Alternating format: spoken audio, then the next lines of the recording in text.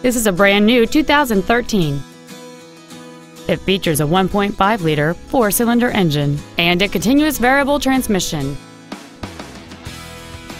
Its top features include a low tire pressure indicator, alloy wheels, and traction control and stability control systems.